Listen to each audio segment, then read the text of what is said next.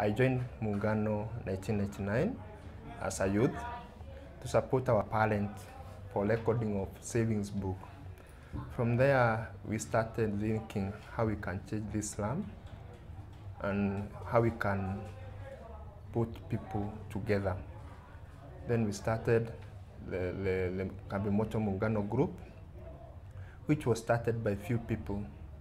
because most of people were not hawakuwa wanafikiria tunaweza come together and change the living standard venye tulikuwa